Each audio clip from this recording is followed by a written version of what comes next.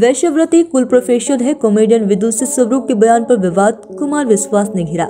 देश में stand up comedy का क्षेत्र पिछले कुछ वर्षों में काफ़ी तेज़ी से बढ़ रहा है। कुछ लोग लाइव शो देखने के लिए ऑनलाइन टिकट बुक करते हैं तो तमाम लोगों को वीडियो देखना पसंद है। लेकिन कई बार कॉमेडियन के चुटकुले पसंद नहीं आते हैं।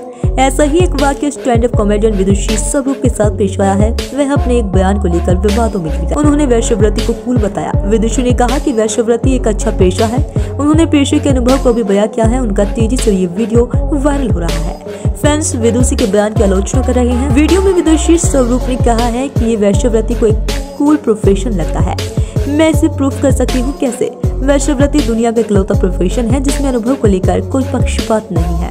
उनको फ्रेशर्स चाहिए, वो ब्लैक में कच्ची कलियाँ मांग रहे हैं। वैश्यव्रती अकेला ऐसा पेशा है, जिसमें सीईओ से ज़्यादा इंटर्न कमा रहे हैं। वैश्यव्रती करने वालों को दुबई में शेख के साथ मिल रही है ट्रिप और अनवांटेड प्रेगनेंसी कुमार विश्वास ने कहा, हंसने वालों पर भी लानत है। विदुषी के बयान की कवि कुमार विश्वास ने आलोचना की है। उन्होंने कहा कि ये बेहुदा ही नहीं, अमानवीय और क्रूर भी है। ये संवेदनशील मज़ाक आजकल की निरंतर अश्लील संस्कारों की मज़ाक उड़ाती तथा कथित स्टैंड अप प्रस्तुतियों की ही झलक भर है। गनीमत है कि ये घटियापन किसी पुरुष कहता नहीं कहा। अन्यथा सारे आयोग जाग जाते, हंसने वालों पर भी लाना कन्या शख्स डॉक्टर मंजीत धीमान ने कहा कि ये कहने से ज़्यादा मुक्तापूर्ण कुछ भी नहीं है कि वैश्यव्रती एक अच्छा पेशा है। उन महिलाओं से पूछे जो काम कर रही है उन चीज़ों से क्या गुजर रही है? जो लोग हंस रहे हैं, उनकी मुक्तापूर्ण बातों के लिए उससे प्रोत्साहित कर रहे हैं। कृपया अपने दिमाग का इस्तेमाल करना शुरू करें।